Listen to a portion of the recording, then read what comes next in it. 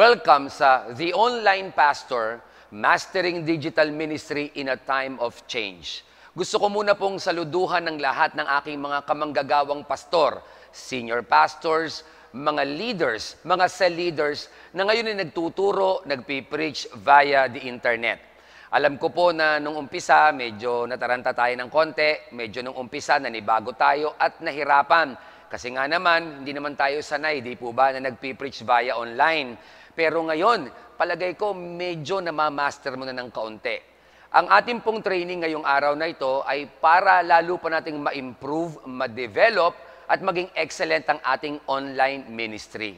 May tatlo po na parts ang ating gagawin ngayong training. Ang part 1 ay improving online preaching.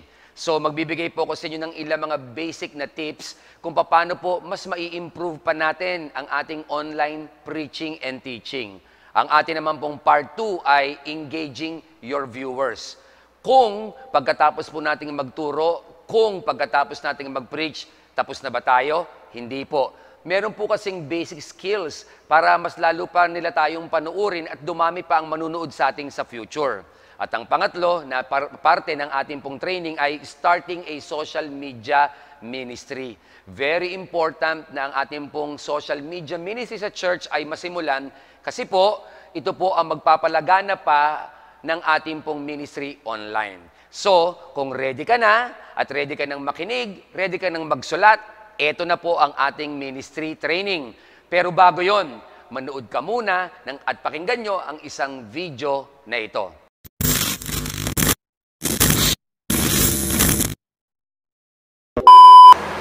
Patay na, patay naman yung mukha ko. Welcome guys! Parang vlog. Hi guys! Bakit? Ito pala dito.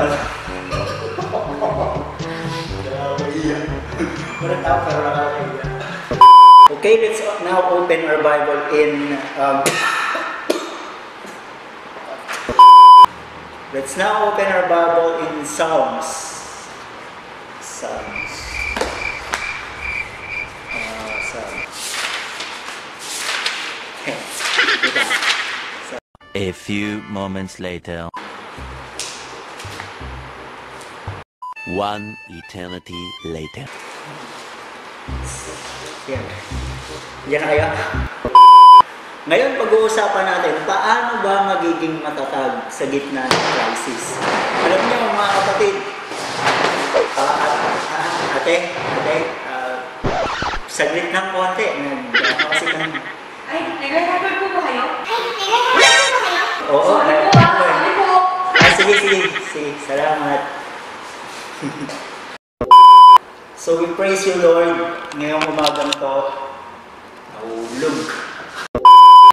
Kaya mga kapatid, sinasabi ko sa inyo, mahal na mahal kayo ng Panginoon.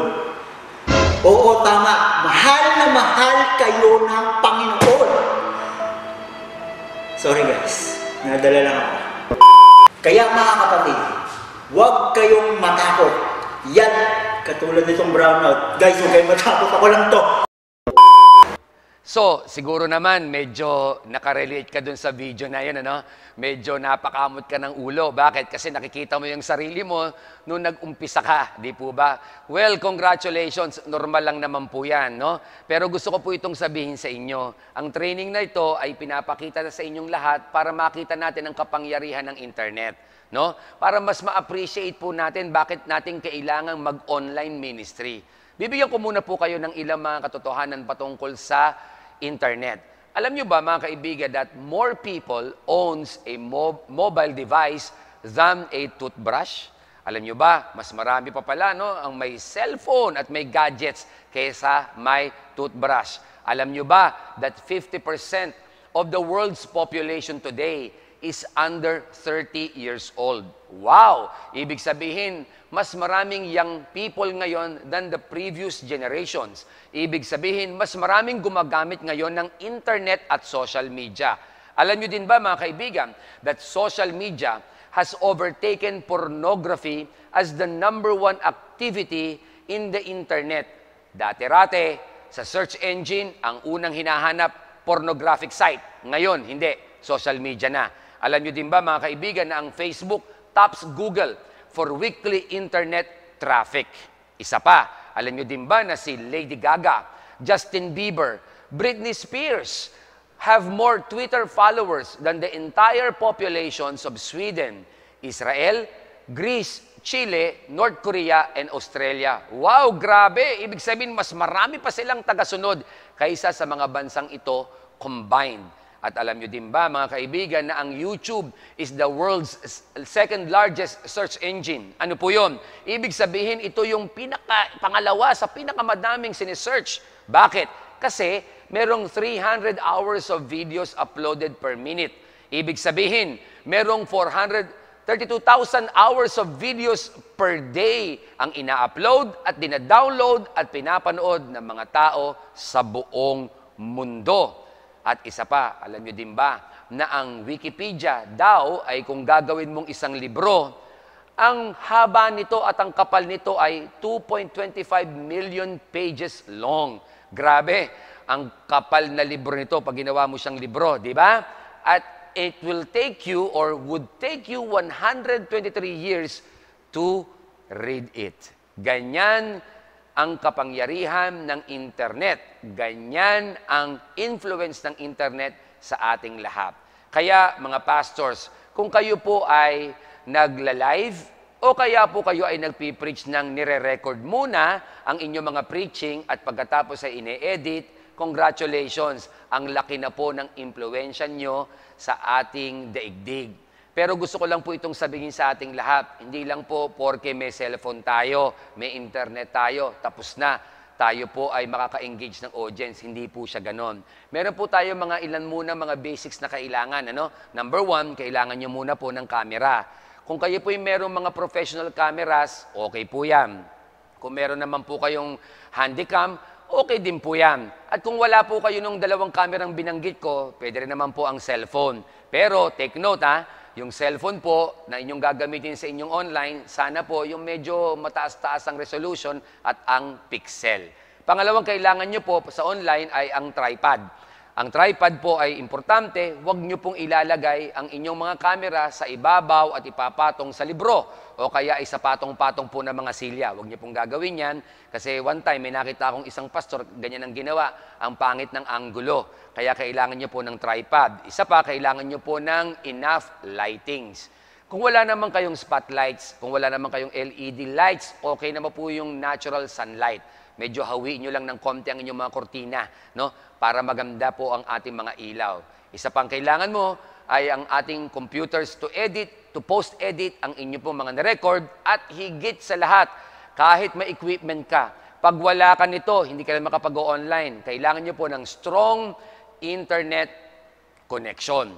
Bakit? Kasi po kahit nag-record kayo tapos binroadcast nyo ng live sa oras ng inyong pananambahan, ng inyong mga celebration, eh hindi rin po mag enjoy ang ating mga audience kasi naglalag ng konti ang ating internet connections. So, sa ating pag-uumpisa, bibigyan ko kayo ng anim na basic tips para mag-improve ang ating online ministry. Number one is be yourself. Very important po yan. Be yourself. Ano po bang ibig sabihin nun? Ang ibig pong sabihin nun ay, do not copy others. Huwag mong kopyahin si Ed Lapis. Huwag kang kumopya sa ibang pastor. Huwag mong kopyahin si Stephen Furtick o kaya si Andy Stanley. Huwag niyo po silang kopyahin kasi meron silang sarili nilang style. Kung meron kang sarili mong style, yun ang gawin mo. Kung ikaw ay marunong mag-English at mag-Tagalog at mag-Taglish, eh di ganun ka mag-preach, okay lang yan. Kung may iba ka pang dialect na alam, nagbibisaya ka kasi ang audience mo ay sa South, ituloy mo lang yan. But do not copy others. Anong gagawin mo ngayon kung hindi mo siya kokopyahin? Ito ang gawin niyo po. Get the best ideas. Huwag mo silang kopyahin, but get their best ideas. Marami po sila mga ideas. Medyo i-tweak nyo lang ng konti, i-adjust nyo ng konti, at i-develop nyo na adapted sa inyong kultura ng inyong church. No? Bakit po kailangan kayong mag-get ng ideas? Kasi po, ideas are the roots of creation. Ibig sabihin, pag may idea ka, makakagawa ka ng iba-ibang mga bagay na magaganda. Pero kung meron kang idea, hindi mo naman i-apply, medyo problem din po yan. Bakit po? Because ideas are worthless until you get them out of your head to see what they can do. Very important po yan, mga kaibigan, that to be yourself. That's the number one rule. That's the number one tip. Huwag muna tayong manggaya ng iba, but get the best ideas. Number two is this. Look at the camera. Ulitin ko po yan ha. Look at the camera. Kung kayo po ay nagre-record at meron po kayong TV sa gilid, huwag po kayong titingin sa inyong mga TV screen. Huwag po kayong magbabasa ng PowerPoint presentation nyo at ang babasahin nyo po ay ang inyong TV screen sa inyong mga nasa gilid. Bakit po? Mawawalan kayo agad ng connection sa inyo pong audience. Halimbawa, magbibigay ako sa inyo ng illustration. Narito ang isang illustration. Nandyan ang camera, nandyan ikaw, at kailangang tumingin ka, di po ba, sa camera eye level. Pero ang problema ng mga pastors, ang kanilang mga laptops ay halos katabi nila sa kanilang ibaba. Kaya kung sila ay titingin ngayon sa baba, mawawalan sila ng connection sa audience na nanonood. Huwag niyo po itong gagawin. Ang best practice ay ito po, ilagay ninyo ang laptop malapit po sa inyong camera. Bakit po? At least kahit papano, kung titingin ka ng pababa sa inyong mga laptops at titingin ka doon sa camera, para tuloy na nawawala ka lang ng konti pero nakakonect ka pa rin sa audience sa inyong mga viewers. Yan ang importante. Ilagay po natin ang ating mga laptops, notebook, iPads, or notes hindi sa tabi natin at hindi sa baba, kundi malapit sa camera. That's tip number two. Tip number three, conversational tone. Ano po ito? Sa akin pong mga coaching at uh, training ng public speaking, lagi ko pong sinasabi that effective public speaking is conversational speaking. Ano po ito? Ibig sabihin, pag ikaw po ay nagtuturo o nagpipreach, dapat po para kang nakikipag-usap lamang sa mga taong kaharap mo sa ngayon. Siguro sanay tayo ng sumisigaw, okay po yan. Sanay tayo mga kaibigan na tayo po ay lumulundag, okay po yan. Pero ngayon online hindi na pwede kasi ang kausap mo ngayon camera lang. At imaginein mo na ang inyo pong kausap ay nasa likod ng camera, kaya dapat conversational lamang. Because ang effective public speaking po is conversation, not a performance. Okay, that's number three. Number four is this, up your energy. Uulitin ko po yan ha. Up your energy. Ayon sa pag-aaral ng mga eksperto, tuwing po tayo magtuturo sa internet, bumabagsak daw po ang energy na nakikita ng mga viewers sa atin ng 20%. Yan. Bumabagsak pala ng 20%. So, ang kailangan mo pong gawin, medyo i-up mo yung energy mo. Ano yon? Kung kumikilos ka, medyo i-wide mo ng konti ang inyong gesture. Ano? Ang tawag ko po dyan ay expand your gestures. No, ang inyong mga kamay, pagalawin nyo, ang inyong balikap. Ngayon, kung hindi ka naman makakalakad, okay din naman yan, wala namang problema. Pero i-expand mo ang gestures mo, tumuro ka, ilagay mo ang kamay mo ng ganito. Bakit po? Kasi it will up your energy by more than 20%. So, yun ang ating tip. Ito pang isang tip, mga kaibigan, very important. Keep it short. Yan. Ano po itong keep it short? Mas maigsi ang preaching, mas maganda. Mas maigsi po yung worship service na live nyo, mas maganda. Dati-dati po kasi, pag nagpipreach po tayo at meron tayong physical gatherings ng ating mga worship celebrations, di po ba two hours yan? Yung iba nga, baka more than pa. Pero sa internet po, kung kayo po'y recorded at wala kayong audience at wala kayong setup na church, better to keep it short. Paano nyo po siya ikikip it short? Ganito po siya, no?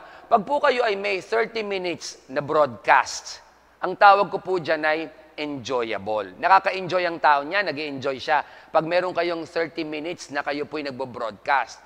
Pero, pag po kayo ay tumagal ng isang oras at kalahati, at ang angulo nyo lang ay iisa, walang masyadong interaction sa camera, ito po ang tawag ko ay tolerable. Medyo ang mga nanonood, tsatsagaan ka pa, tsatsagain ka pa. Kaya hindi niyo po ba napansin, pag po nagla-live broadcast kayo, meron pong tinatawag ng mga view, ng bilang ng mga view. Habang tumatagal po kayo, bumabagsak po yan. Bakit po? Naiinip sila kasi ang tagal. Pero kung kayo po itatagal ng dalawang oras at higit pa, ang tawag ko dyan mga kaibigan ay horrible. Medyo mm, delikado na po yan. Medyo magbago na po tayo ng konti ng style. So pastors, senior pastors, technical team, keep it short. So that's number five. So ito na nga tayo sa number six. Anim lang po ito no, sa ating first part ng improving your online preaching. Number six is this, communicate creatively frequently. Yan. Ano pong gagawin nyo? You have to communicate creatively frequently. Paano kayo magko-communicate creatively frequently? Unang-una po, hindi ko ina-advise na kayo ay magtuturo, lalo na kung kayo magpipreach, na kayo po ay nakaupo at meron kayong isang table, no, na malaking malaki. Ang ganda nga ng background mo, pero nakaupo ka naman. That is a big no-no. Una-una sa lahat, hindi ka naman si Yorme para po magturo at mag-preach na na ikay naka-table. Alam niyo po kung bakit. Kasi po pag kayo naka-table, hindi niyo ma-expand ang inyong gestures. Babagsak po, mga kaibigan, ng higit pa sa 20% ang inyong energy. Pangalawa, pag may lamesa kayo, it creates a boundary between you and your viewers. Kaya po, tayong mga nanonood sa internet, mas gusto nating nakikita na yung nagtuturo o kaya yung nagpipreach ay nasa preaching mode. Yung bang ang senaryo ay church, nakatayo, nagtuturo. Yan po ang gusto ng mga nanonood sa atin sa internet. Bibigyan ko po kayo ng isang halimbawa o mga halimbawa ng nakita kong magandang examples. No? Ito po ay mula sa aking kaibigang si Pastor Francis Madison ng Dulos for Christ. Nakita niyo po ba yung kanyang example? No? Ang laki ng TV. Di po ba? Ang ganda. Kitang-kita niyo yung PowerPoint. Tingnan niyo yung background. Plain lang. At lumutang tuloy yung kulay ng skin niya. Lumutang din tuloy maganda yung kanyang ah, damit. Yan po ay pamarisan natin. Magandang example po yan. Isa pa sa magandang example ay ang aking kaibigan from Victory. O, kita nyo po yan, no? Nag-recording po sila, mga kaibigan, ang laki ng TV sa likod. At meron po pong background ng konti ng patungkol sa church instruments. So, ang ganda po ng senaryo, ang ganda ng pagkakakombine. Nga po pala, no? Siya nga po pala, kung kayo po'y gagamit ng TV sa inyong background, pwede po ba lakihan nyo ng konti? Huwag naman pong 32 inches. Kasi bakit? Ang inyong mga presentations ay hindi na po makikita. Isa pa sa magandang example ay mula sa City Sanctuary Church ni Pastor Junel Liwanag. No, dark yung background, pero ang ganda ng combination ng red, white, at saka ng violet or lavender. That's a very good example. Isa pa po sa nagustuhan kong example ay ang example ng, ang, ng format ng Horizon Ministries ni Pastor Manric Tan Pascual. Ito po yung kanilang format sa kanilang Ignite Home Edition para sa mga young people. Ganyan po nila ginawa ang kanilang online no, format. Ito po ay magandang kopyahin, ito po ay magandang gayahin at get the best ideas. Pastors, kung hindi ka naman techie, medyo wala tayong masyadong alam ng konti sa technology, meron po tayong mga young people today na pwede nating hinga ng tulong. Marami po silang creative juices na kailangang palabasin natin para makatulong po sa atin. Nagagets niyo po ba mga pastors? Natututo po ba tayo? Ngayon, paano pa tayo ah, magko-communicate creatively frequently? Isa sa napansin ko na medyo, mm, medyo hindi maganda ng konti ay ang PowerPoint presentations ng mga pastors. Bakit po? Kasi ang dami ko nang nakita, totoo, may TV sa gilid, may PowerPoint, hindi naman mabasa. Bakit po? Ang liliit ng fonts, hindi pa po yun. Hindi masyadong maganda ang mga graphic designs. So pag-usapan natin ngayon para maging creative ang ating communication sa tip number six is this, creating an awesome PowerPoint presentation. No? I-touch ko muna po ng konti ang inyong mga PowerPoint sandali. By the way, these are all suggestions. At ito po pwede nating i-take at i-consider natin para lalo pang gumanda ang ating presentation.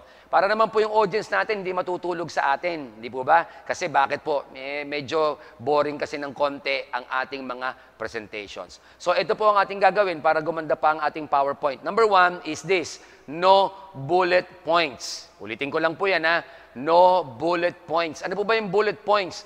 Yun yung pagka gumagawa ka ng point mo, ng statement mo, merong, merong, merong tuldok sa harapan. No, ang tawag po doon ay bullet points. No, ang tawag ko diyan death by PowerPoint. Bakit po? Kasi hindi po mababasa ng tao 'yan. Oh, sasampulan ko po kayo. Ito yung bad example, no? Tawag ko rito death by PowerPoint. Ito po 'yun, no? Lalagyan ko ng bullet points. Bullet points are called bullet points for a reason. People will start reading from the top. And when they do that, they don't listen to what you're talking about. Isa pa, they can also see what's coming next and even pay less attention to you. Plus, you're just reading from this list the whole time. You sound boring and unprepared. At ito po ang kalimitang nakikita ko sa mga PowerPoints ng mga pastors. So this is a big no, no. So anong gagawin natin kung hindi pwede ang bullet points?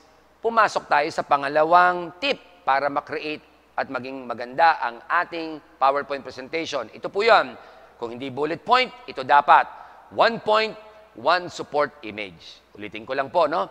One point, one support image. Ang ibig sabihin, kung meron kang isang idea, meron kang isang point, no? Lagay mo yung point na yon sa isang slide at kumuha ka pa ng isang graphic na may kaugnayan or picture na may kaugnayan dun sa point mo. Example, halimbawa, sinabi niyo po, God is a giver. So ilagay niyo po yung point na yon, God is a giver sa isang slide.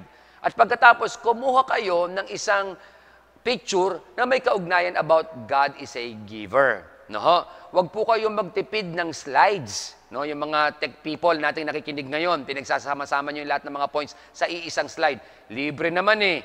Gawin nyo po yan, i-maximize nyo po yan. Example, ito po yung mga magagandang slides na gusto kong ibigay sa inyo. Halimbawa, yung word na distinction. Oh, ito po ay dinesign ko at tinan nyo po, no? Naglagay po ako ng isang word, distinction. Tapos kumuha ko ng mga botones na pare-pareho ang kulay at meron pong isang botones na nag-iisang kulay. Para lang magkaroon ng idea about distinction. Isa pa ay ang aking isang slide presentation, isang teaching ko sa isang corporate o sa isang korporasyon, sa isang company. Ang pamagat ay Effective Communication Skills, How to Handle Difficult People. So kung inyong mapapansin, may makikita kayong apat na lalaki na naka-formal dress at merong isang naka-short na kulay pink, naka-rubber shoes pang kulay pula. Ano, ganyan-ganyan po yan. Para lamang ibigay ko yung idea na may mga tao talagang pasaway. Pero paano ka ba mag-communicate sa kanila? O ito po, ginamit ko po ang graphic design na ito or slide design sa isang quote. Amateurs take offense, but professionals take notes. O, di po ba? Ang ganda nung pagkakadesign. Malinaw na malinaw. Medyo magaang tingnan. So, no bullet points and one point, one support image. Number three, para po gumanda ang inyong PowerPoint presentation, never fill the screen. Wow! Ano po yung never fill the screen? Ibig sabihin, huwag niyo pong punuin ng words ang buong screen. Huwag niyo pong punuin ng puro picture ang buong screen. Medyo masakit po yan sa mata. Example po, katulad po nitong Psalms 23, verse 1 to 4, The Lord is my shepherd. Imagine niyo po, inilagay yung apat na verses doon po sa iisang slide, ang pangit po niyang tingnan. At kung ako po yung manunood, o kung kayo po ay may miyembrong manunood, medyo ang mata niya, hahanapin niya lahat ng mga words na nandiyan. Kaya malilito na po siya. So ito po ay big no-no again. So ano po ngayon ang gagawin natin para gumanda po yung slide natin? Huwag nating i-fill ang screen. Ito po ang aking tip dyan. Ang tawag ko po dyan is the rule of thumb. Ano pong rule of thumb? Yung 5 by 5 or 6 by 6. Ano po yun? Track ba yan? yan ba ay multiplication? Hindi po. Ang ibig sabihin ng 5 by 5 or 6 by 6 is this. 5 or 6 words per line. And maximum of 5 to 6 lines only. So, ibig pong sabihin, sa isang slide, apat na words or 5 to 6 words lamang per line. At lima o anim na lines lamang ang inyo pong dapat ilagay per slide. Example, babalikan ko po si Psalms 23. Ito na ngayon yung 5x5 or 6x6. Ito po siya. oh. Nakita niyo po ba, di ba? Ang ganda na ng pagkaka-present, no? Hindi na siya nakakapagod sa mata. Ito po yung 5x5 or 6x6. Yon. 4 or 5 words per line. At maximum lamang ng 5 lines or 6 lines. Yan. Very important po yan para maganda ang panunood ng ating mga viewers sa internet. Isa pa, para gumanda ang ating pong ah, PowerPoint presentation, I call this the proper color combination. Ang mga designer po natin sa PowerPoint, alam ko maraming pastor, hindi naman po kayo ang gumagawa ng inyong mga PowerPoints, di po ba? Nagpapagawa po kayo. Tandaan nyo po ito ha, more is less, less is more. Mas marami kang design, maraming kulay, medyo nakakapagod po yan. Katulad po ng bad example na ito. Tingnan niyo po yan, no? Nakita niyo po ba, no? Very bad ang example. Ang, dami, ang liliit na ng fonts, ang dami pang kulay, dark pa yung images, no? Contrast pa yung ilang mga, ang dami-dami pang mga fonts na nandiyan dyan, iba-ibang mga, ah, no. Again, this is a big no, no. Yan. In addition, para gumanda pa ang ating PowerPoint presentation, ay ito po, keep the number of fonts used throughout your presentation to three or less. Ang gagamitin nyo lang pong mga fonts ay tatlo lamang uri. Mas maganda nga, mas mababa pa. Lalo na po kung ang designer ninyo at ang maker ng inyong PowerPoint ay babae. Napakahilig sa mga curves. Napakahilig sa mga medyo maraming, maraming, maraming mga fonts at maraming mga effects. Kasi po, medyo ah, nakakainggan niyang maglagay ng mga effects. Tandaan niyo po, hindi po tayo gumagawa ng poster. Tayo po'y gumagawa ng slide para lamang po ah, maintindihan ng mga viewers natin. Ha? So, keep your fonts sa tatlo lamang na uri or better, less pa sa tatlo. Okay, another one is this. Be consistent with the images you will use. Ano po ang ibig kong sabihin? Ibig sabihin nito, don't mix. Ano po ibig sabihin ng don't mix? Huwag niyo pong paghahaluin sa iisang slide ang mga cartoon, clip arts, or vectors na images kasama ng mga natural pictures. Pangit po yan. Ang tawag ko po dyan, no-no again. Bakit po? Kasi kung kayo po'y gagamit ng vectors, clip arts, or cartoon type na image, pagsamasamahin niyo po siya sa isang slide. Pero wag po magsasama yung dalawa. Kung mas maganda nga po, if I may advise. Alam niyo po kung ano? Ang advice ko po ay ganito. Kung kayo po ay gagamit ng natural pictures, no? Gamitin niyo po ang natural pictures from slide 1 hanggang slide 100. Ibig sabihin po, puro po natural pictures ang gamitin niyo. Kung gagamit naman kayo ng clip arts, edi puro clip arts. But don't mix the two. Okay, so sana may natutunan ka na ngayon ha, sa first part ng ating pag-aaral ngayon to improve your preaching online. So, if you are ready na, papasok na tayo ngayon sa ating part 2. If you are ready, ang part 2 ng ating training is this, how to engage your viewers. Are you ready? Ito na ang ating training.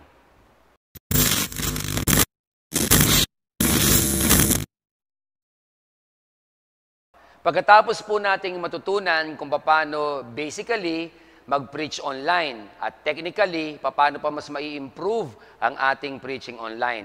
Ang susunod po ay napaka-importante. Bakit? Kasi kahit na marunong ka na mag-preach online, kung wala namang nanonood sa'yo, yun ang problema natin.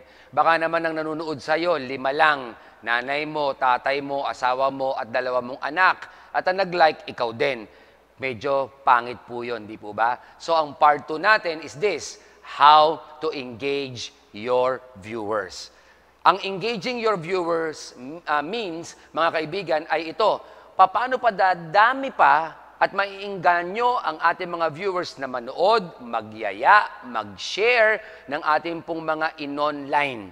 So, bibigyan ko muna po kayo ng ilang mga trade secret ko mga trade secret namin. Pero I believe ito rin po ay ilang mga sikreto ng ilang mga churches, lalo na po yung mga malalaki na at malalawak na ang online ministry. Okay, eto po yon. Number one, trade secret number one is this, communicate your group. Bago po kayo mag-online, mag-communicate muna po kayo. Paano po kayo mag-communicate? Ang tawag ko po dito is 1, 2, 3 principle. Ano po yung 1, 2, 3 principle? One, Ibig pong sabihin, one day before, i-communicate mo na yung grupo mo sa leader mo. Kung kayo po meron mga chat boxes, kung meron po kayo mga leaders, i-text nyo na po one day before. Kami po at ako po ay nagte-text, nagme-message ng Saturday. Sinasabi ko sa aming chat box, o bukas, excited ka na ba? O get ready ha, bukas, ito yung preaching ko. Yan, one day before. Pero hindi ka tapos dyan. Dapat po may pangalawa pa. Two hours before your live, ay kinakailangan pong ikaw ay mag-message pa ulit sa inyong group chat sa inyong mga members. Na po, ang madalas kong sinasabi pag two hours before our worship service, kung ang aming service po ay 10 o'clock, alas 8 ng umaga, nagte-text na po ako o nagme-message ako. Sasabihin ko, oh, 2 hours na, ready ka na ba? Gising ka na ba? Oh, get, let's get excited. Yayain mo na ang kaibigan mo, pamilya mo. Okay, so yun po yun. Nagko-communicate, nare-remind ang mga tao. At higit po sa lahat, yung number 3, di ba? 1, 2, 3 principle. Ito po yun. 3 minutes before, tinetext ko ulit sila.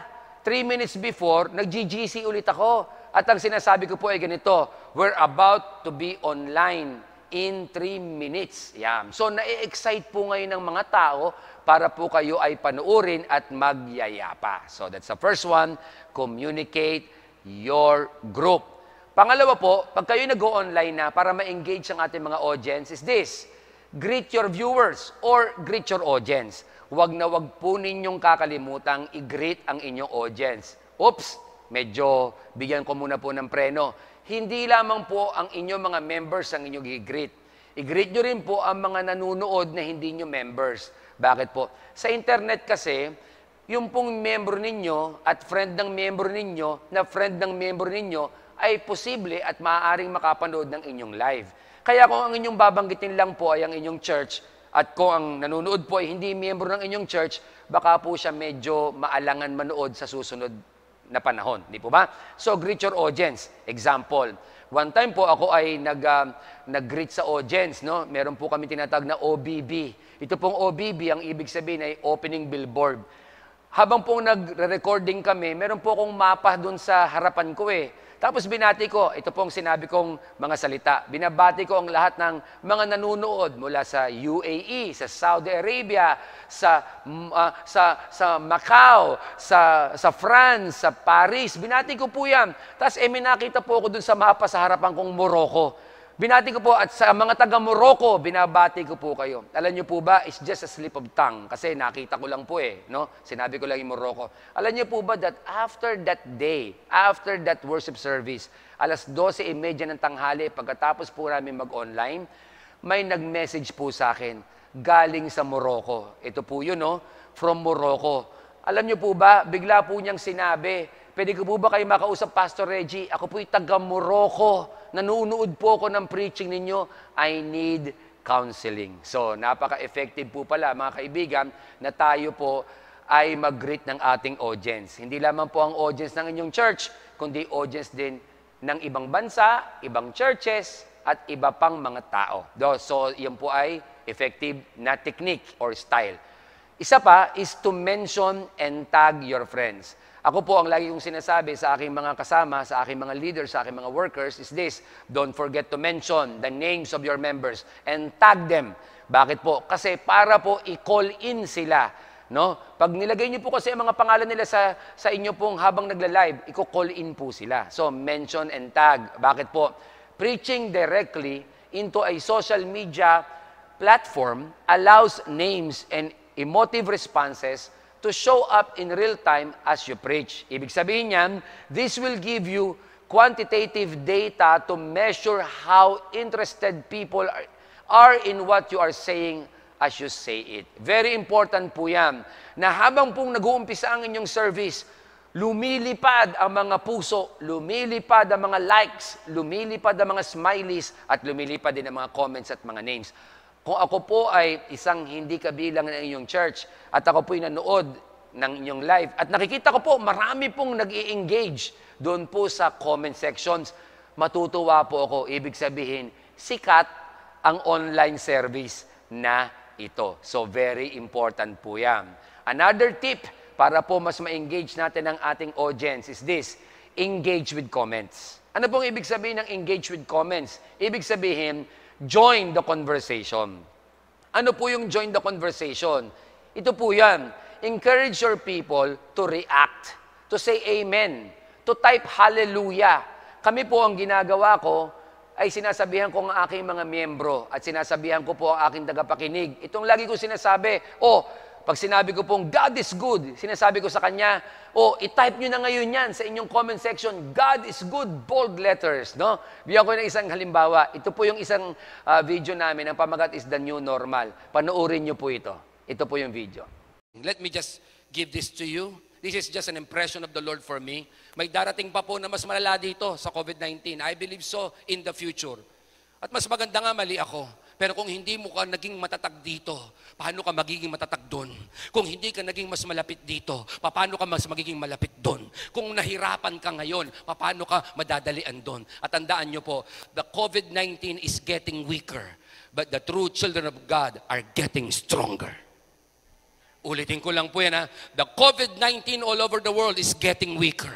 But we, as children of God, we are getting stronger. I want you to write that down. Comment section ng inyong mga sa internet. I am getting stronger. I am getting stronger. Bold letters. Lahat exclamation point. I am getting stronger. Oh, napanood nyo, di po ba? Nakita nyo po ba? Napakinggan nyo yung sinabi ko, di ba? Na ano sinabi ko? Oh, type this. Oh, isulat ninyo.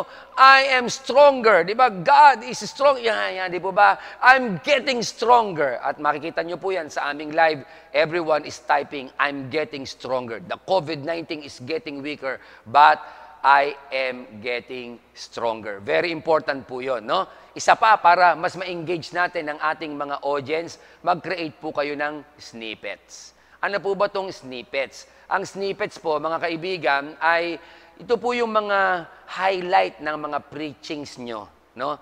Kaya po yung mga nag edit ng inyong mga videos, hanapin po doon yung pinaka mga highlights yung pong pinaka-importante, yung mga madidiin, yung mga magaganda ang delivery. I-edit po yun at gumawa po kayo ng mga 30 seconds lamang to 1 minute and a half seconds, mga kaibigan, na uh, 1 and a half minutes na, na video. No? Sample po nito, no? ito po yan. Meron po akong isang snippet na merong 40,000 views. At shinare po ito sa internet, sa Facebook ng 1,200 times or shares. Ah, ang tawag po dyan is hindi lahat ng laban nilalabanan. Pakinggan niyo po kung bakit effective po ang video na ito. Nas naranasan nyo na ba to? Yung bang parang okay na ang lahat, tapos may biglang dumating na hindi mo gusto. Yung bang kung kailan ka nagkatrabaho, tsaka nagkaroon ng may malubang sakit, antindi, no? Yung bang kung kailan ka, kung kailan ka parang umu-okay ka na sa Diyos, umu-okay ka na sa lahat, all of a sudden, bang! May biglang dumating na hindi maganda. And alam nyo, mga kapatid, I want you to understand this, that kapag may mga bagay na hindi, nangya, mang, hindi magandang nangyayari sa iyo, that is beyond your control, remember this. Parang yung saying ko ano? Remember that when the battle is too big for you, it doesn't belong to you. Kapag ang battle at ang labanan mas malaki kaysa sa iyo at out of control like sickness and cancer, I want you to understand, it's not for you to fight it. It's God's fight. It's God's battle. All you have to do is not to be afraid. All you have to do is not to be discouraged. All you have to do is to stand on your position because God is about to fight for you. Napanood nyo na, di po ba? Very effective. So, create some snip, eh, snippets para po mas maganda at maka-engage tayo ng ating mga viewers. Isa pa, always invite friends, followers, and post likers to like your church page and channel. Yan. So, pagkatapos yung mag-preach sa online, wag lang po kayo mag-say amen, Jesus name, amen. Tapos na, hindi po, no? At the end of your uh, preaching, at the end or pwedeng beginning ng inyong preaching, i-advertise nyo po ang page ng inyong church. Sabihin nyo po, don't forget to like and share our, page. Mention the page of your church, uh, fa- uh, Facebook page, kung meron kayong Instagram, kung meron kayong Twitter, kung meron po kayong YouTube, sabihin nyo po yan. Bakit po? Invite nyo po sila. Hindi lang po yon. Pwede kayong mag-invite ng after post. Ano po yon? Ito po yun, no? papakita ko po sa inyo. Ito po yung video, mga kaibigan, na kung meron po kayong post pagkatapos, nakita niyo po, merong mga 200 to 300 na nag-like, nag-heart, nag, ah, nag-smiley. Puntahan niyo po siya. Pag pinuntahan nyo, invite nyo po doon. Makikita nyo po doon, may mga nag-like pala sa inyo, may mga nag-respond na hindi pa pala ninyo na-i-invite o hindi pa pala followers ng inyong page. So, i-click nyo lang po yung word na invite para po kayo ay maka-engage pa ng maraming followers at viewers ng inyong page. O ito pa, ang isang tip at trade secret. Mobilize your ushers virtually. Ano po ba itong mobilize your ushers virtually? Ang ibig pong sabihin nito, di po ba ang ating mga ushers nagwe-welcome bago mag-start ang service? Ganon din po ang gawin nyo. The moment po nagkaroon ng countdown, the moment po nag-start ang music ng inyong online service, ang una pong dapat na nandiyan na nagko-comment, una pong dapat na nagbibigay, nagme-mention, nagtatag ay ang inyong mga ushers. Kasi nga po, welcomer sila eh, di po ba? At ito pa, hindi lamang sa beginning, dapat po sa end. Sa end din po ng inyo, bago po matapos ang inyong service, dapat po ang inyong mga ushers, virtually, nagte-thank you na. Thank you for attending. Thank you sa inyong pagdating. Maraming salamat. See you next Sunday. Yung mga ganyan, no? Ang tawag po dyan is mobilize your ushers virtually. Isa pa, mga kaibigan, ito, encourage your people to share your live videos and host a watch party. Encourage po ang inyong mga tao. At bigyan ko po kayo ng isang sikreto. Yung pong nag-share kayo, pwedong, pwede po yan habang nagla-live, i-share nyo. Pero wag po kayong mag-host ng watch party habang merong live. Bakit po? Kasi po, mahahati ang inyong audience. Pangalawa, yung gustong mag-comment, ang comment hindi lalabas doon sa page nyo, lalabas doon sa watch party. Kaya po, yung pag-share ng live, uh, mga kaibigan, ay pwedeng during, no, habang pong ongoing yung inyong broadcast. Pero po yung sharing ng watch party ay pagkatapos na ng inyo pong uh, live uh, broadcast ng inyong worship services. Isa pa po sa tip, create inspired posts. Kailangan nyo pong mag-create ng inspired post. Ilang beses? Four times per day. Ha? Nakakagulat naman. Eh, Pastor, ano bang uh, ipopost namin sa aming page? Bakit daw four times per day? Kasi po, ganito yan. Ang social media po ay may behavior mas madalas po kayong mag-post, mas madalas pong lilitaw yan sa news feed ng inyo pong mga friends. So, kung ang inyo pong page ay nagpo-post lamang every Sunday, malamang po niya, next Sunday, hindi na po lilitaw yan ang notification sa kanila. So, kailangan po ninyong mag-create ng inspired posts. At ito po ipopost nyo four times per day. Ano-ano po ba ang mga ideal na mga oras na kayo po ay dapat mag-post? Ito po yan 6 a.m. Isa pa, 12 noon. Isa pa, 6 p.m. Umulit po kayo ng 9 p.m. Bakit po ganyan kadami at ganyan ang oras? Ito po, yung 6 a.m., di po ba pagising ng tao, hindi naman nagpe-pray agad eh. Ang unang hinahawakan, cellphone. So kung kayo po yung nag-post ng 6 a.m., lalabas po ngayon yan sa newsfeed nila. Bakit naman 12 noon? Hindi po ba break time? kapag kumakain ng mga tao, ay nagkukutkut pa at nag, uh, gumagamit pa ng cellphone. O, di, ibig sabihin po, pag nag-post kayo ng 12, lalabas po kaagad ang inyong pinost. Bakit naman po 6 p.m.? Kasi pauwi na ang tao habang nasa bus, nasa jeep, nasa tricycle, o naghihintay ng LRT, hindi po ba, or MRT, nagse-cellphone din, hindi po ba? So, lalabas na naman ang inyong mga post. Eh bakit naman 9 p.m.? Pa- bago matulog ang tao, ay nagse-cellphone pa rin, nagko-computer pa rin, nagla-laptop pa rin, kaya very important po yan. So, tingnan niyo po ito. Bibigyan ko ng ilang mga example. Ito po yung ilang example ng aming pong page ng 6 a.m. Ito po yung 6 a.m. Tawag po namin yan declaration. Okay? So, nagde-declare po kami ng 6 a.m. post. Pagdating naman po ng 12 noon ay quote. Ha? Ano pong quote, yung quote ng pastor siguro, o isang magandang quote pagdating ng 12 noon. Pagdating naman po ng 6 p.m., ay lalabas naman po yung uh, pinaka-highlight na quote ng pastor nung nakaraang preaching nung Sunday. So, pastor's quote ng 6 p.m. At pagdating naman ng 9 p.m. ay prayer. Bakit po inilagay ko yung prayer sa dulo? Kasi po ganito, mas marami pong tao ang nagpe-pray bago matulog. Bakit? Takot na hindi na magising. Kaya po nilagay namin yung prayer sa gabi. Pwede rin naman sa umaga, pwede rin naman po sa gabi. Depende sa inyo, mga kaibigan, kung ano po ang inyong magiging style. Pero higit sa lahat, mga kapatid, dapat po tayo po ay nagpo-post ng inspired post four times per day. Isa pa pong tip or trade secret para po, mga kaibigan, ma-engage natin ang ating mga viewers is this. Avoid the digital noise. Ano po ba itong digital noise? Ang digital noise po, ang ibig sabihin nito, madalas kayo mag-post, pero ang post nyo, pare-pareho lang. Halimbawa po, no? Live kayo ng worship service. Okay yon. Nag-live kayo ng prayer meeting. Nag-live ka pa ng midweek service. Pati Bible study, ni-live mo pa. Ang tawag ko po dyan ay digital noise. Ang mga tao po, baka hindi na kayo panuorin at hindi na po kayo i-share. Mas maganda pong sila'y nasasabik. No? At kung kayo po yung magpo-post ng madalas, dapat po iba't ibang uri ng format, iba't ibang uri po ng style. Okay? So ano po ang inyong gagawin para po gusto nyo mag-post ng prayer meeting? If I may advise, ito po ang aking advice. Kung meron po kayo mga ipopost or teaching or mentoring, wag na po ninyong ilagay sa live at ang view ay public. Kasi po, ang view ng tao dalawa sa internet, isang public at isang private. No? Wag na po kayong maglagay siguro ng prayer meeting sa public view. Wag na po niyong ilagay. Baka pe, pwede po gumawa kayo ng isang closed group page na private group lang. Ilagay nyo ang mga tao nyo ron, i-enlist nyo. Doon nyo lang po sila ilagay. Doon nyo po sila ilagay ang inyong mga live or ang inyong po mga turo. Kung may Bible study po kayo, may meeting, doon nyo po siya ilagay.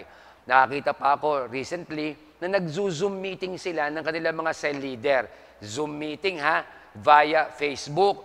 So, yung mga nanonood ngayon, hindi alam ko ano ang inyong pinag-uusapan. Ang tawag po dyan, mga kaibigan, ay internet noise. Di po ba? Ang tawag po natin dyan, medyo maingay, ayaw na natin, nakakarindi.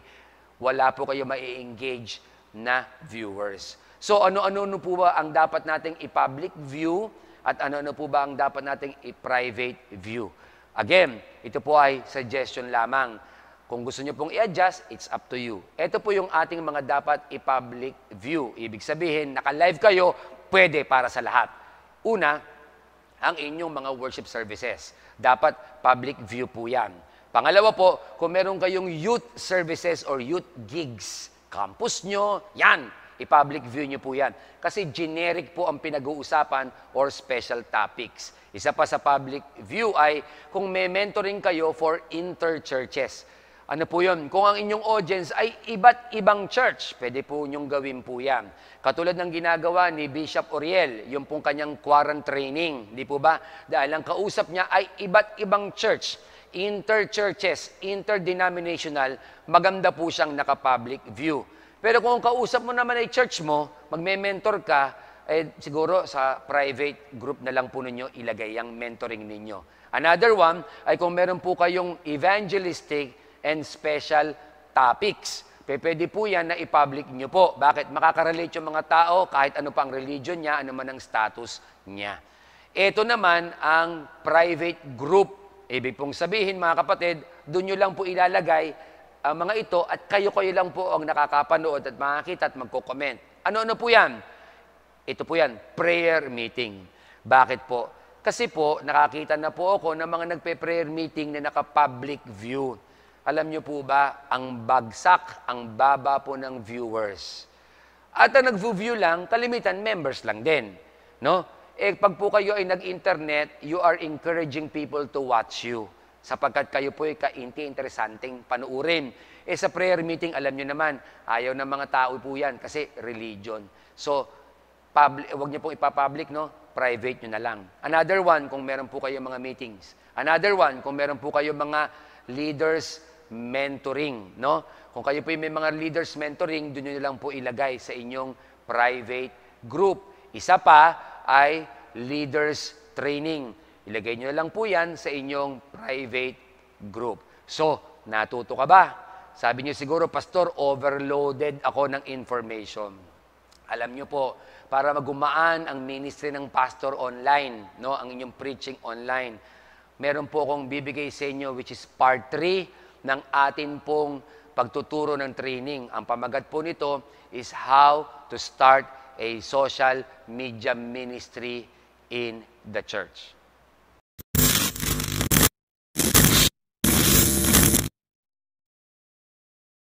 Paano ba mag start ng social media ministry sa church? Marami pong tao ay akala nila at marami mga churches, porke meron kang sound system, meron kang camera, meron kang mga magagaling mag-projectionist, magagaling na projectionist, okay na yon. Hindi po yon. Kasi po, importante po, lalo sa online preaching natin at teaching, mentoring, meron po kayong team na ang tawag ay social media team at mag-create po kayo ng social media ministry. Now, para po maintindihan natin ito, bigyan ko muna po kayo ng kwento ng aming simbahan. No? Noong po kami ay mag-umpisa, two and a half years ago, ng aming SOCMED or Social Media Ministry, alam niyo po ba na kami po sa Facebook namin ay meron lamang po kaming 1,000 followers or likers. Alam niyo po ba, wala kaming YouTube channel, wala kaming Instagram, wala po kaming Twitter accounts.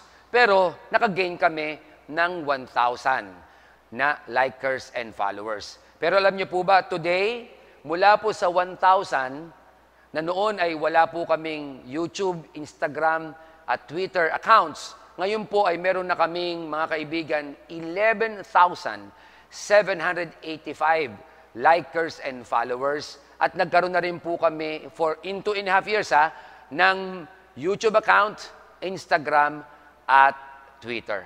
Siguro po, sabi nyo, eh siguro magagaling ang mga tao mo. Alam nyo po ba, ang una nga po namin naging tanong, kaya ba namin? Di po ba? Alam nyo po, ako po kasi ay pusher. Ako po kasi ay visionary.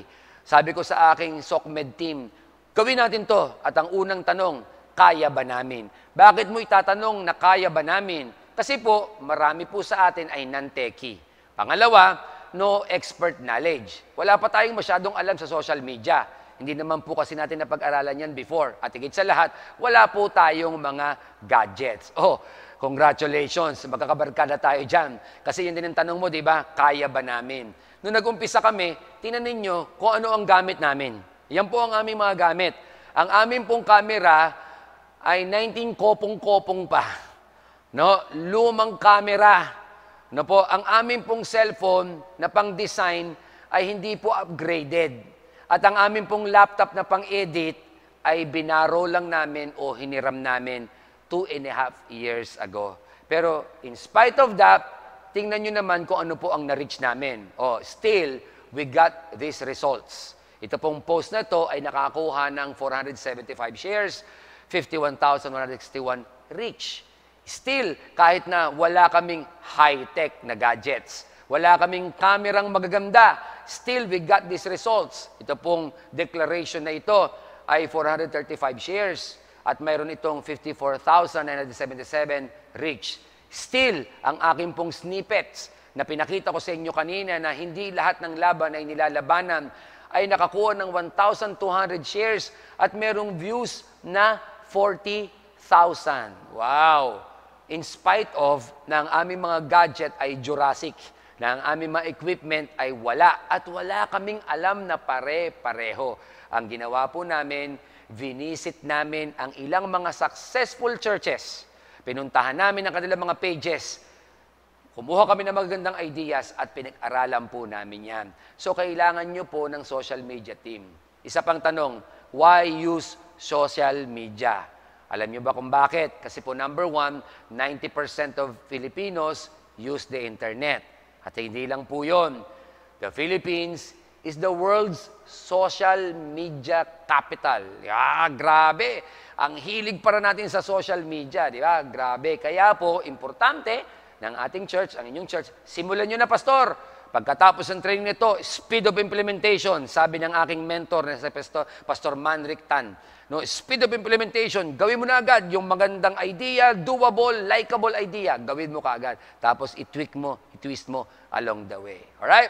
So bigyan po kayo ng tatlong sikreto to church social media ministry. Three secrets. Ang dami na nating pinag-aaralan, ano? Pero ito po mga kaibigan ay makakatulong sa inyo na higit. Number one, ito po yung tatlong sikreto. Tatlo po ito. Ano po yung una? Servanthood. Pangalawa, strategy. Pangatlo, branding. Yan po yung tatlong sikreto. Binigay ko na sa inyo kagad. Servanthood, strategy, at branding. Ano po ba yan? Servanthood. Ang ibig pong sabihin ng servanthood ay a dedicated individual can surpass a group of ordinary. The first thing you do is to create a team. Pero po wag agad kayong kukuha ng magagaling lang, pero wala pong servanthood attitude. Bakit po? Kasi po, sa social media po, kayo po ay behind the scene. Sa social media po, gumagawa po kayo nang wala po kayo sa front. No? So, kung wala po ang inyo pong kukuhanin na magagaling ay medyo mayabang ng konti, hindi po sila pepede dyan. Pangalawa, kung medyo tamad at hindi nag-aaral at hindi nag-visit ng ibang ideas, nagiget na ibang ideas, medyo hindi po pepede. So, kailangan nyo po ng mga team ng merong servanthood attitude. Bakit po? Kasi sa servanthood, ang inyong team ay kailangan po ng training program. Both offline and onla- online. Isa pa po sa kailangan ng inyong social media team ay magkaroon kayo ng clear job responsibilities. Ano ba yan? Humanap kayo ng writer, designer, or editor. At kung meron kayo makikita isang tao na pare-pareho siyang lahat nasa kanya, writer, designer, at editor, at pastor pa, abay mas maganda kasi mas maintindihan po ang inyong ginagawa. At higit sa lahat, kailangan po yung mga team nyo na merong servanthood attitude ay marunong pong mag-beat ng deadlines.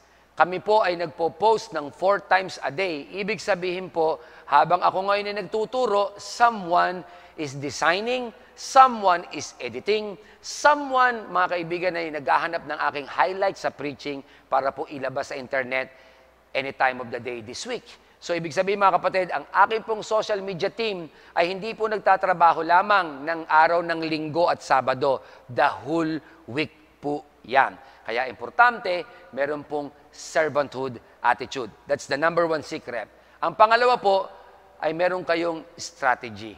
So, hindi lang po pwedeng ang galing-galing ng inyong team, ang bait-bait ng membro, napaka-submissive, yes ng yes kay pastor, wala namang strategy.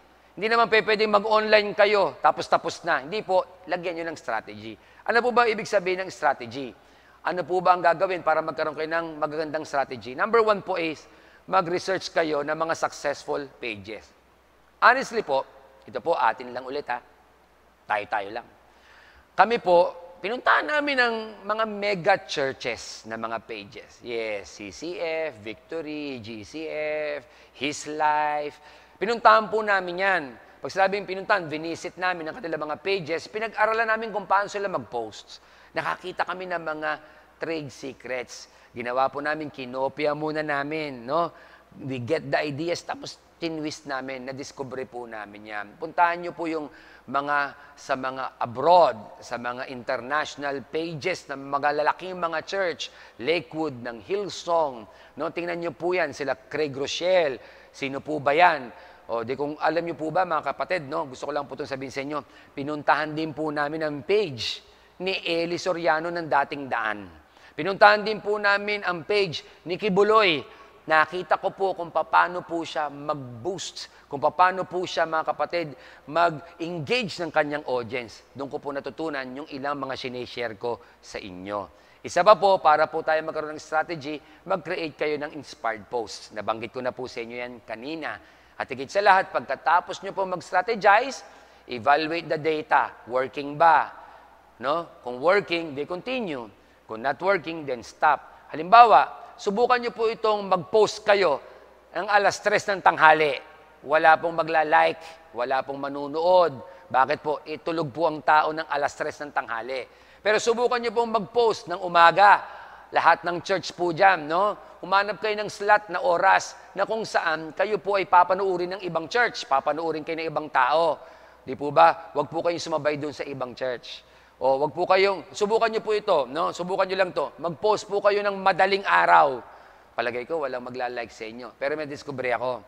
Mag-tweet ka, tweet, Twitter, ha? Twitter account. Mag-tweet ka na madaling araw. Mas maraming young people ngayon sa Twitter kaysa Facebook. At kalimitan ng mga young people, nagtitweet ng gabi hanggang madaling araw. Gising pa sila. Bakit po mas marami pong young people sa Twitter at wala na sa Facebook? Kasi ang kanilang mga nanay at tatay ay nasa Facebook. So, madidiskubre yung kanilang kababalaghan at misteryosong mga posts. Kaya sila po ay nasa Twitter. Ngayon may Telegram na at marami pang social media platforms. So, strategy po yan.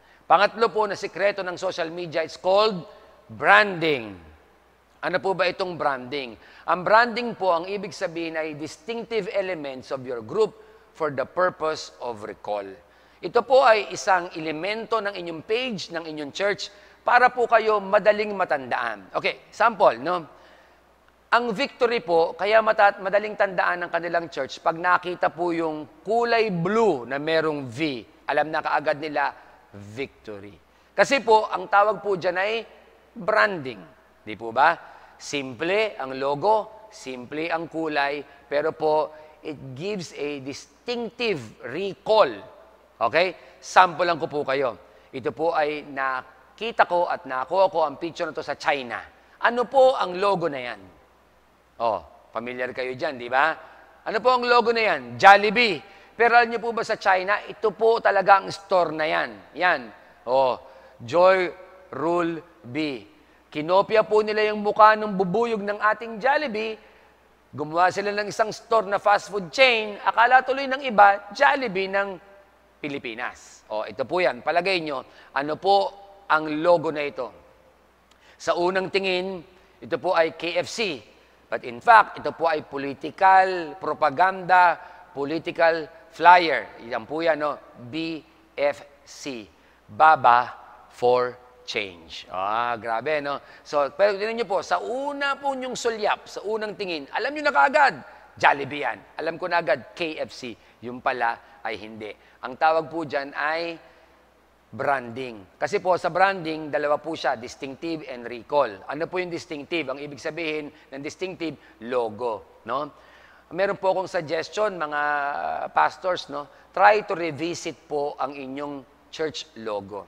Nung araw po, ang mga usong-uso po ng logo ay yung may Bible na nakabukas, may krus sa gitna, may ibon or Holy Spirit sa gilid, at dinagdagan pa, may apoy. Dinagdagan pa, may mundo. Ngayon po, hindi na po uso ngayon yan. Medyo nag-evolve na po ang panahon. Medyo i-develop nyo na po, mag-upgrade, mag-update po tayo. Alam niyo po ba ang uso ngayong logo? Mga solid letters lamang. Kaya makikita niyo po, ang CCF ay CCF. Pag nakita niyo po ang victory, V lang. Di ba? Bakit po? Ganun lang po. Ang elevation nga, pabaligtad pa na V eh. Di po ba? Yung kanilang logo na orange pa, ang background color. So, try to revisit your logo. Medyo tinatamaan ka na siguro ng konti, no? Medyo wisdom lang ng konti. Pangalawa po ay kulay. Magkaroon po kayo ng distinctive na color. Ano po ba talaga ang official color ng inyong church at ng inyong page? Blue ba? Green ba? Rainbow ba? Orange ba? Please decide.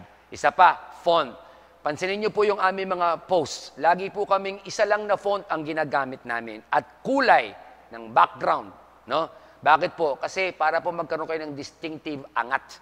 Para po ma-recall kayo. Sa recall naman, mga kaibigan, ibig sabihin, a qualitative measure of how well a brand name is. Yung bang pag nakita po ang inyong post, ay ano yan? Church yan. Ay ano yan? Sa church ni ano yan? Yan, ganyan po siya. Example po, no? Ano po sa palagay ninyo ang post na ito? Kanino po kaya yan na social media page? Hmm. Tingnan nyo po, ito po ay mula sa 700 Club Asia. Di po ba? Ang post po na yun ay 700 Club. Ganyan po, kita nyo ang consistency ng kanilang mga post. Lagi pong ang background nila ay nature o ang background po nila, mga kaibigan, ay mountain. Pero tingnan nyo po ito ha, mula sa 700 Club Asia, meron silang 1.7 million followers. Ito po ay sa Twitter. Ayan. O, tingnan nyo po yung simplicity, minimalist type ng post ni Joanna. Oh, I hope I'm pronouncing it correctly. No, correct. Joanna says, Alam niyo po ba na ito sa Twitter account ay meron po siyang 417,000 followers. So grabe, no? Bakit po? Kasi consistent po, minimal, at iyon po ang kanyang branding. So, ano ang sikreto? Tatlong sikreto ng starting a social media ministry. Kailangan mo ng servanthood, kailangan mo ng branding, kailangan mo ng strategy. And let me remind you, pastors, ito lang po ang gusto kong sabihin sa inyong lahat, na negotiable po yan. Pag sinabi pong na negotiable, hindi pwedeng mawala ang isa. Example, kung tatanggalin mo si strategy, mga kaibigan, no, mga kaipatid, random posting ka. Kung ano na lang po post mo, magkakaroon po kayo ng slow or no growth trend ang inyong social media ministry. Kasi po, kung wala kayong strategy, kung ano lang popost nyo, mukha ng pastor mo, happy birthday Jesus, happy bir- lahat na lang popost mo, wala ka kasing strategy. Ngayon, kung may strategy ka nga, pero wala ka namang branding, ibig sabihin, walang pagkakilala sa inyo, ibig sabihin, unrecognizable ang inyong online ministry. Ngayon, kung may strategy ka, may branding ka, pero ang team mo, ang social media team mo naman, walang servanthood, mga kapatid, nothing will take place. Kasi kailangan nyo po ng team na mag-move, mag-mobilize ng inyong social media ministry. Hindi lang magaling, may puso din. Hindi lang matalino, may anointing din. May mata din, may creativity din. Wow! So I hope natuto ka no, sa third part ng ating training today, starting a social mini- ministry in your church. Now, gusto ko muna po itong ihabilin sa inyo sa ating pagtatapos. Sa Bible po, sinabi ng 2 Timothy chapter 4, verse 1 and 2. Ito ang sinabi, In the presence of God and of Christ Jesus, who will judge the living and the dead, and in view of His appearing in His kingdom, I give you this charge. Ito pong sinabi niya, preach the word, be prepared, in season and out of season. Correct, rebuke, encourage, with great patience and careful instruction. Yan po ay malaking-malaking mandate sa atin ng Panginoon. Preach the word, be prepared in season and out of season. Alam ko po, ngayon, marami mga pastors naging excited mag-online ministry. Pero gusto ko rin po itong sabihin sa inyo, darating din po ang time sa aming experience, bababa po ang inyong mga viewers. Mawawalan po kayo ng mga viewers. Ako nga po sa lahat ng mga preachings ko, whether in my own personal YouTube channel, lagi po akong may basher, may disliker. Huwag po kayong mafafrustrate. Huwag po kayong madidepress. At higit sa lahat, huwag kang magsusuicide ha. Bakit po? Bakit? Kasi po, you have to preach the word to be prepared in season and out of season. Alam nyo, mga kapatid, lahat po tayo nag struggle sa preaching. Di po ba? Bakit po? Kasi mas mahirap po talaga ang mag-preach ng online eh. Lalo po kung recorded. Kasi wala ka namang audience, puro silya. Hindi katulad nung dati, meron tayong mga physical gatherings, di po ba? Nakikita mo yung reaction ng mga miyembro mo, nakikita mo kung paano sila mag-amen, sumigaw, pumalakpak, pero ngayon walang pumapalakpak sa'yo, kundi camera lang na nanonood sa'yo. Mga kapatid, huwag ka ma-frustrate. Bakit po? Kasi hindi naman ikaw ang mag- magbibring ng change at transformation. Diyos yan. Para i-encourage ko po kayo to preach the word and to be prepared in season and out of season. Meron po ako isang kikwento sa inyo na personal experience ko. Kayo po ba'y nanonood ng concert? Nanonood po ba kayo ng mga concert? Christian concerts, hindi concert. Di po ba sa bawat concert, may tinatawag po na front act? Di po ba? Ano po ba yung front act? Yung pong front act ay ito po siya. Siya po yung mga grupo na mga entertainers, sumasayaw, kumakanta. Sila muna po ang unang lalabas para i-prepare yung pong pinaka-main act, which is yung artista o kung sino man yon. Alam niyo po ba, dalawa lang ang rule pagka po ikaw ay front act entertainer. Number one, galingan mo. Kasi po bakit? Pag hindi ka magaling, ang front act hindi magaling, hindi mag-iinit ang audience. Baka umuwi. Pero ito pa, ang pangalawang rule ng mga front acts, huwag mong masyadong galingan. Ano po ibig sabihin? Huwag mong masyadong galingan, baka sapawan mo naman yung main act. Baka ang mas magaling ka pa kaysa dun sa main act. Na-discover ko po, Tayo po mga pastors, tayo po ay front act lamang ng Panginoon.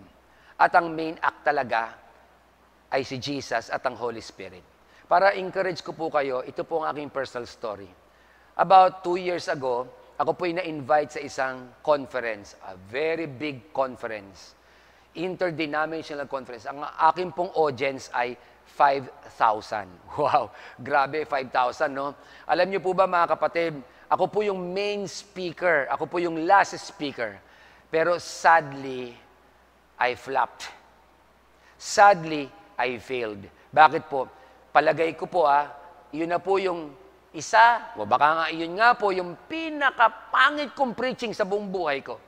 Pinaka hindi magandang preaching. Alam niyo po, pagkatapos ko pong mag-preach, kasi po, during the preaching, wala akong nakikita nagre-react. Eh, ako po, bombastic ako mag-preach, maingay ako mag-preach, nagpapatawa ako. Nung tumawa po sila, kaunti lang, kaunti nag amen Nung nag-altar call ako, walang reaksyon. Alam niyo po ba, pagbaba ko po ng stage, talaga pong umiyak ako. Umiyak ako kay Lord at ang sabi ko, God, I failed you. Alam niyo po, maya-maya may lumalapit sa akin sa stage, sa backstage. Isang matandang babae at ang sabi sa akin, Pastor Reggie, tuwang-tuwa ako sa preaching mo. I am so blessed sa preaching mo. Grabe. Alam niyo po ba, biglang tumaas yung kilay ko, napa, kunot ang noo ko. Ito pong matanda na ito, dalawa lang nasa isip ko. Kung di nakadroga yung matanda, baka may Alzheimer's. Eh, hindi nga ako na-bless eh. Ako mismo, hindi ako na-bless sa sarili kong preaching. How come you are blessed? Sabi ko doon sa matanda, Nay, bakit naman po kayo na-bless sa aking preaching? Ito pong sinabi niya, pakinggan niyo po ito ha. Ang sabi niya ito, kasi pastor, nung sabihin mo ito eh, God is fighting for you. God will be with you. And God will be for you. Sabi niya, pastor, yun ang sinabi sa akin ni Lord. Bigla na naman pong tumaas ang kilay ko. At ang sabi ko po dun sa matanda, Ate, Nay, wala po akong sinabing ganyang statement. Wala po akong ganyang sinabi na mga words. At ang sabi niya ay ito, Pastor, hindi nyo nga sinabi yung God is fighting for you, God will be with you, and God is for you. Hindi mo nga sinabi ang mga salitang yan. Meron kang sinasabing iba. Pero habang sinasabi mo yung ibang words, yun naman ang pagsasabi sa akin ng Diyos. Yun naman ang kinakausap ako ng Diyos sa ganung mga salita. Doon ko po na-realize, tayo po'y front act lang. At ang main act ay si Jesus. At ang main act ay si God. Ang dapat lang naman po natin gawin, do our best. Sige po, gawin nyo yung lahat ng mga techniques. At kung may alam pa kayong ibang techniques na mas maganda at ideas, do it. I-apply nyo po. Be the front act for God. At pagkatapos nyo pong mag-preach, kumanta, magturo at mag-mentor, iwanan natin si Lord. Bakit po? Sapagkat siya po ang main act sa lahat ng ating ginawa. He is the one that will change, that will transform, that will revive, that will renew the people. Tayo po ay mga front act lamang sa ministry na ito. I hope you learned. I hope na upgrade ka. I hope na update ka sa ating Pastor Online training. God bless you. See you again. I want to hear from you. Your comments, your suggestions. Pag-aralan pa natin at sabay-sabay tayong lumago sa ministry ng social media at sa ministry ng online. God bless you and see you next time.